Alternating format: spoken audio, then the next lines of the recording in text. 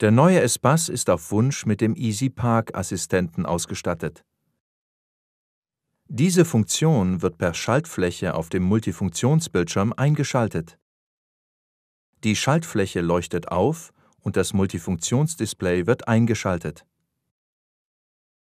Sie wählen im Menü die Einparkrichtung quer, längs oder schräg und bestätigen das gewünschte Manöver.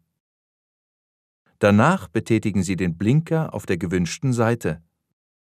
Solange das Fahrzeug langsamer als ca. 30 Stundenkilometer ist, erfassen und erkennen die Ultraschallsensoren des Systems freie Parkmöglichkeiten.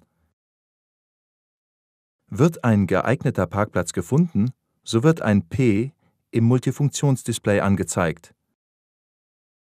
Es ist anzuhalten, sobald die Meldung Stopp angezeigt und ein akustisches Signal ausgegeben wird.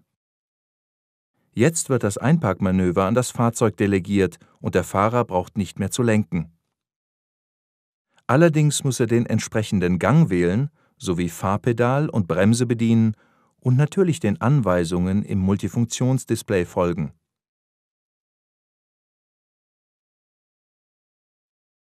Zur besseren Orientierung steht die übliche Einparkhilfe selbstverständlich zur Verfügung.